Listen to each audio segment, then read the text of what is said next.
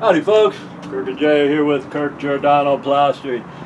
Today, it's just a quick, a quick fix here. I'm going to show you guys caulking because this fella here, William uh, Young, he he showed me on the other side. He said, Kirk, these uh, painters came and you can see all the all of the um, caulking lines. They painted it. It looks like, well, it doesn't look pretty.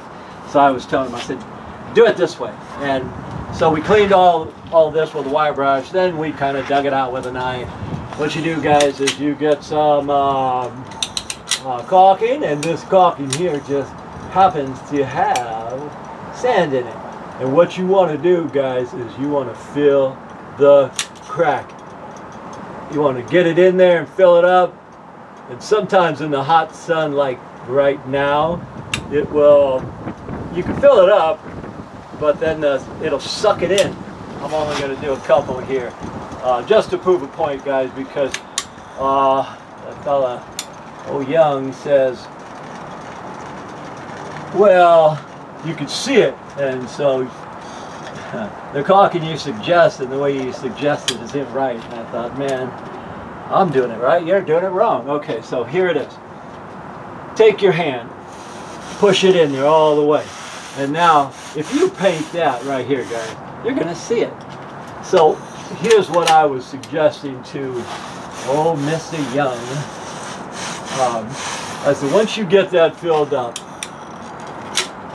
fill it up. Now, take your hand, take the magic glove, and just go like this. Keep doing it until you don't see any of the out, the perimeter. Because if you could see it here, when it's painted, you'll see it. And I'm just using my hand. You could use a sponge float, you could use a brush, you could use whatever you want, guys. But if you're gonna see all this outer, when you paint that, it'll show also. So make sure, whatever you do, you get that caulking into the crack only. I'll show you another thing too, guys. Out here, um, this fellow says, well, gee, can you use caulking for other things? Now, he had a lot of wire showing here, so we just caulked all the wire. He had some holes here.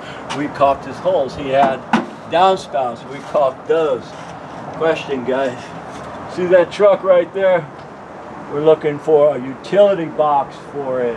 That's Jason's truck. It's uh, a 350, similar to one I used to have. But we're looking for a utility box. Anybody know where we can find a utility box for that big old truck? Because it makes coming to a job kind of a drag. Anyway, uh, just throwing that out there, guys, in case you know. My name is Kirk. Jason is on the camera. We thank you for watching, and as usual, we'll see you guys on the next one. All right, folks, we want to thank you for watching how we do things in the stucco and plastering world. We really enjoy your questions and comments, so if there's anything you want to learn about that we can show you, please let us know in the comments. And as always, from the entire Giordano family, we'll see you on the next one.